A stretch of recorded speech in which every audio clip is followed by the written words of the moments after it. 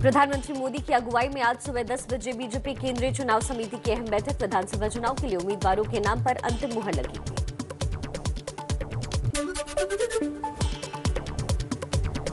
BJP केंद्रीय चुनाव समिति की बैठक में अमित शाह, सीएम योगी, सुनील बंसल, स्वतंत्र देव सिंह समेत तमाम नेता मौजूद रहेंगे। कोरोना संक्रमित जेपी नड्डा, राजनाथ सिंह, नितिन गडकरी और राधा मोहन सिंह वीडियो कॉन्फ्रेंसिंग से जुड़ेंगे।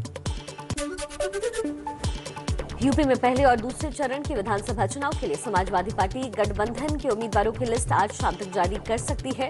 किसको किसको मिलेगा टिकट, किसका गिरा विकेट, रहेगी सब पे नज़र। पंजाब चुनाव के लिए उम्मीदवारों पर आज शाम कांग्रेस केंद्रीय चुनाव समिति की अहम बैठक, पहली लिस्ट पर मुहर लगने की उम्मीद।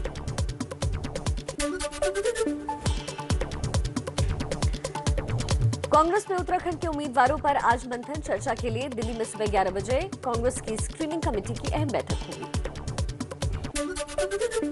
दिल्ली के सीएम अरविंद केजरीवाल के पंजाब दौरे का आज दूसरा दिन मोहाली में प्रेस कॉन्फ्रेंस करेंगे।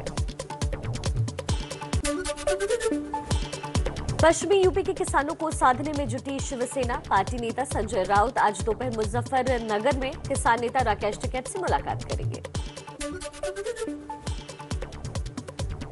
देश में कोरोना संकट पर पीएम मोदी का मंथन। आज शाम साढ़े चार बजे प्रधानमंत्री सभी मुख्यमंत्रियों के साथ कोरोना के हालात और नए वेरिएंट ओमिक्रोन पर वर्चुअल समीक्षा करेंगे। प्रयागराज में 14 जनवरी से शुरू होने वाले माघ मेले पर आज इलाहाबाद हाईकोर्ट में अहम सुनवाई।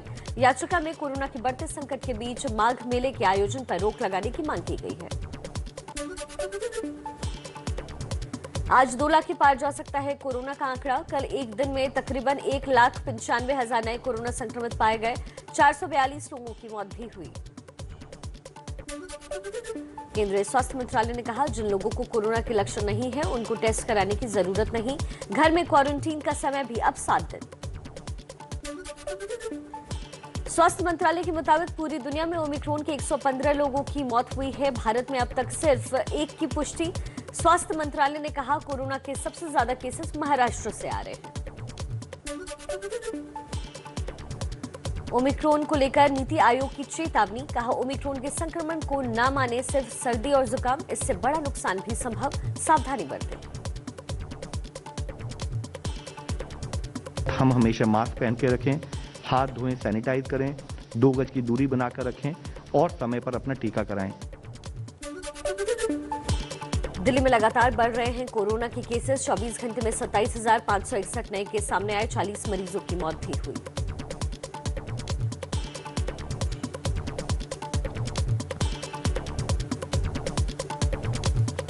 बीमारी होती है कम्युनिटी डिज़ीज़ होती है, फैलने वाली डिज़ीज़ होती हैं।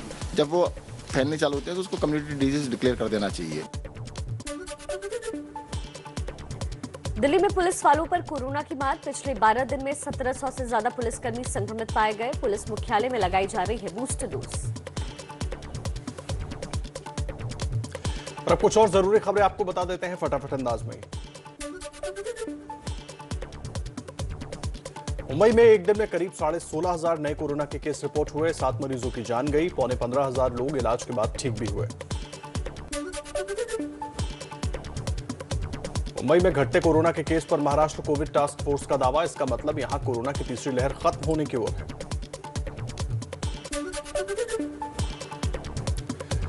कोरोना की वैक्सीन बनाने वाली कंपनी भारत बायोटेक का दावा, कोवैक्सीन का बूस्टर, ओमिक्रॉन और डेल्टा वेरिएंट पर भी कारगर। कोरोना संक्रमण के बाद अस्पताल में भर्ती लता मंगेशकर खतरे से बाहर, अब भी आईसीयू में हैं। डॉक्टरों के मुताबिक 10 से 12 दिन निगरानी में रखेंगे। लता को निमोनिया भी हुआ है।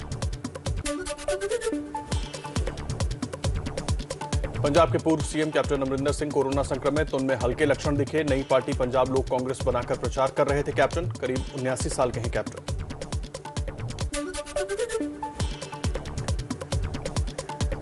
पश्चिम बंगाल के सीएम ममता बनर्जी ने गंगा सागर मेले का उद्घाटन किया। बोली कोविड प्रोटोकॉल का कड़ाई से पालन करें, ज़रूरत पड़ने पर पुलिस की मदद लें।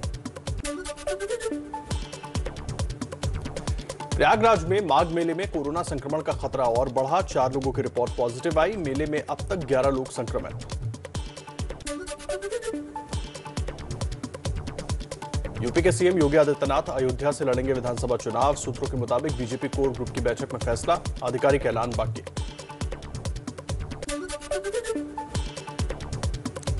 मथुरा सीट से चुनाव नहीं लड़ेंगे सीएम योगी। श्रीकांत शर्मा को ही मिलेगा टिकट। कुछ मौजूदा मंत्रियों की सीट बदली जा सकती है। यूपी में सीट बंटवारे को लेकर अमित शाह के साथ अनुप्रिया पटेल और आशीष पटेल की बैठक। सूत्रों के मुताबिक सीटों पर बीजेपी के साथ अपना दल और निषाद पार्टी की सहमति बनी।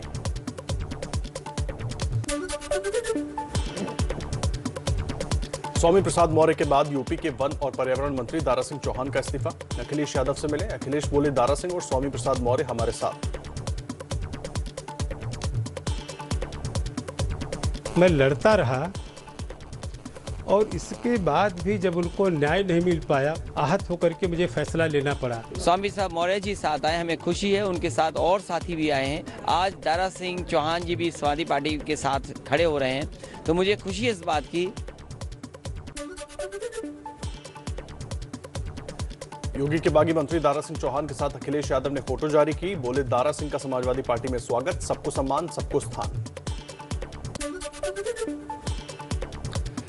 यूपी के डिप्टी सीएम कृष्ण प्रसाद मौर्य ने ट्वीट किया, लिखा, दारा सिंह अपने फैसले पर पुनर्विचार करें, डूबती हुई नाव पर सवार होने से नुकसान होगा।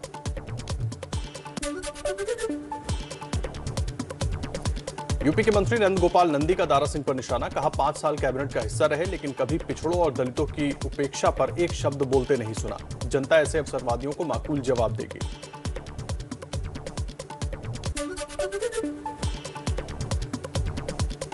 योगी सरकार में मंत्री पद से इस्तीफा देने वाले स्वामी प्रसाद मौर्य का ऐलान। 14 जनवरी को समाजवादी पार्टी में होंगे शामिल और लोग भी होंगे साथ।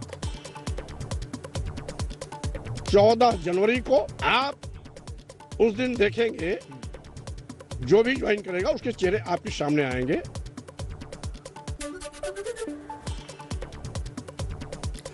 बीजेपी से बगावत करने वाले स्वामी प्रसाद मौर्य के खिलाफ कोर्ट से वारंट जारी। विवादित बयान देने के सात साल पुराने केस में वारंट जारी हुआ। 24 जनवरी को पेश नहीं हुए तो वारंट फिर होगा जारी। बीजेपी नेता रीता बहुगुणा जोशी बोली, पार्टी को स्वामी प्रसाद मौर्य को मनाना चाहिए।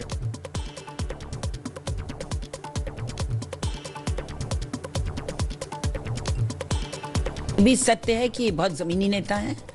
और बहुत ही प्रैक्टिकल नेता भी हैं, उनको मुझे जहाँ तक संज्ञान में आया है उनसे हमारे वरिष्ठ नेतागण चर्चा भी कर रहे हैं, बात भी कर रहे हैं, उनको रोकना चाहिए।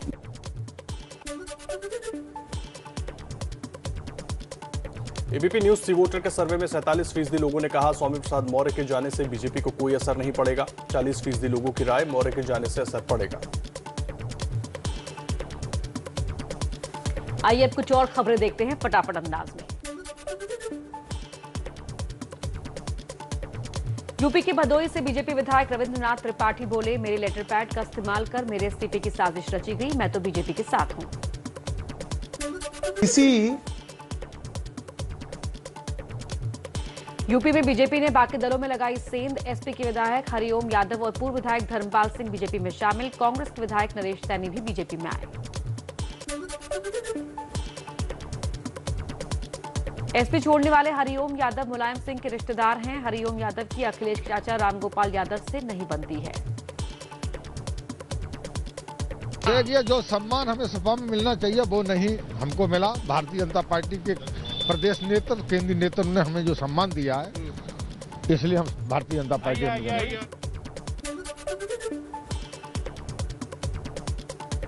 यूपी में सीट बंटवारे के लिए अखिलेश का डबल डोज वाला फॉर्मूला। सहयोगी दलों के कई नेता एसपी के चुनाव चिन्ह पर लड़ेंगे। जयंत चौधरी की पार्टी को 26 से 30 तो ओम प्रकाश राजभर को मिल सकती हैं 8 से 10 सीटें। समाजवादी पार्टी एनसीपी के लिए बुलंदशहर में अनूप शहर और टीएमसी के लिए मिर्जापुर सीट छोड़ेगी। अनूप शहर से एनसीपी के के के शर्मा और मिर्जापुर से टीएमसी के ललितेश, पति त्रिपाठी लड़ेंगे चुनाव। कांग्रेस छोड़कर समाजवादी पार्टी में शामिल हुए इमरान मसूद अखिलेश यादव से की मुलाकात।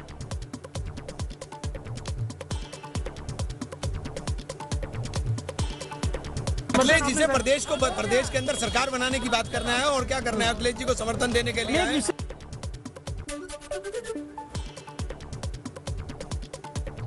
यूपी के चुनावी मैदान में उतरेगी शिवसेना। संजय राउत बोले 50 से 100 सीटों पर लड़ेगी शिवसेना।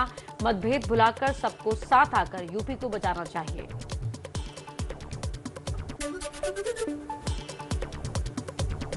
चुनाव से पहले उत्तराखंड कांग्रेस में खटपट। कांग्रेस ने पूर्व प्रदेश अध्यक्ष किशोर उपाध्याय को पार्टी के सभी पदों से हटाया। पार्टी विरोधी गतिविधियों का आरोप।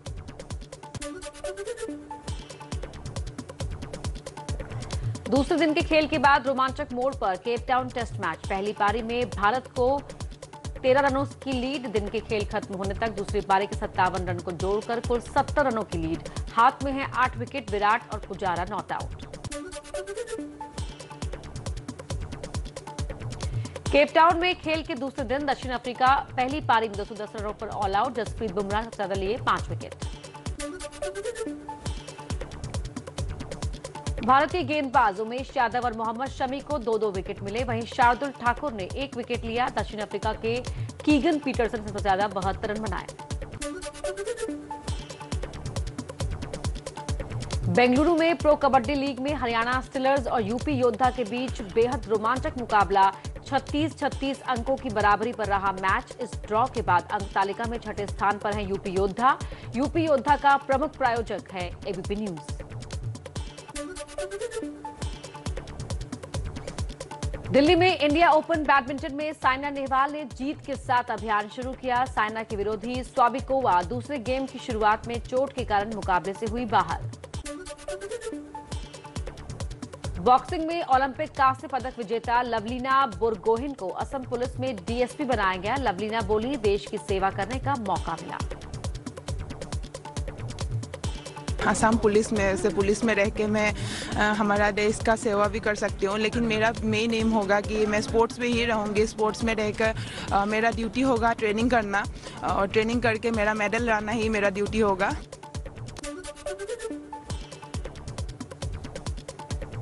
उत्तराखंड में यमुनोत्री धाम में बर्फबारी ने बदला मौसम। यमुनोत्री धाम के मंदिरों के आसपास चार से पाँच फीट मोटी बर्फ़ जमी। लद्दाख में लगातार गिर रहा है तापमान। द्रास में मंगलवार की रात तापमान माइनस सत्ताईस से नीचे पहुँचा। लेह में भी तापमान माइनस चौदह तक गिरा।